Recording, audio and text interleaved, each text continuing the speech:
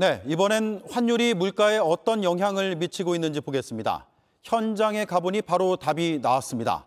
수입고기는 정부가 관세를 10% 넘게 깎았지만 오히려 비싸졌습니다. 환율이 너무 올라섭니다. 가까스로 잡히는 듯했던 물가에 환율이 찬물을 끼얹는 게 아닌지 우려됩니다. 황예린 기자입니다.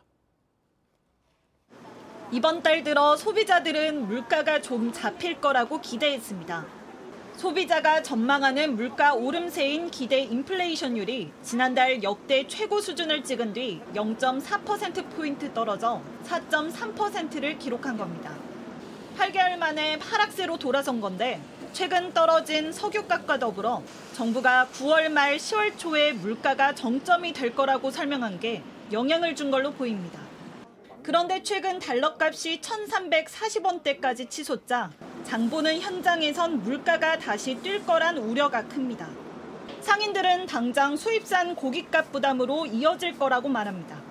지금 달러도 오르고 수입업자들이 다 묶어놓고 있는 상태이기 때문에 수입 같은 경우 한 60% 이상이 예전에 비해서 올랐어요. 실제 지난달 말 정부가 물가를 잡겠다며 수입산 소고기 10만 톤 물량에 연말까지 10% 넘던 관세를 매기지 않기로 했지만 오히려 이후 미국 수입소 갈비살로 따져볼 때 100g당 약 200원 오른 겁니다.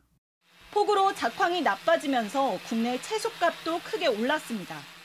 채소들이 다 올랐어, 다 올라. 사는 사람들이 좀 양이 조금 줄어들더라고. 확실히 줄어들어. 배추도 한 망에 2만 4천 원이니까 뭐 두 개만 주라든지 하나만 달라든지 막 그래. 시민들은 추석을 앞두고 밥상 물가가 더 뛸까 걱정입니다. 물가가 더 오를 것 같아요. 추석 때 제사를 지내면 저 탕국을 끓여야 되는데 그게 걱정되더라고요, 진짜. 하는 공기 비싸니까 수입산을 사려고 하죠. 그 수입산도 비싸니까 정부는 물가가 9월이나 10월에 정점을 찍을 거라고 봤지만 달러 값이 더 오를 경우를 대비해야 한다는 지적이 나옵니다. JTBC 황예린입니다.